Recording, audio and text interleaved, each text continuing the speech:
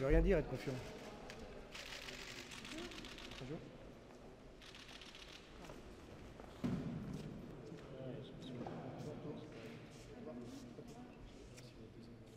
Le parquet, euh, au moment du premier jugement, avait requis dans un réquisitoire que lui-même avait qualifié de sévère 30 mois d'emprisonnement, en comptant l'intégralité des, faits.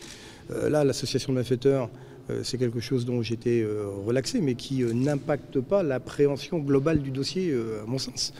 Euh, voilà, donc euh, je ne sais pas euh, si l'association de malfaiteurs est, est confirmée, euh, si ça va impacter euh, sur une sanction potentielle, je ne sais pas.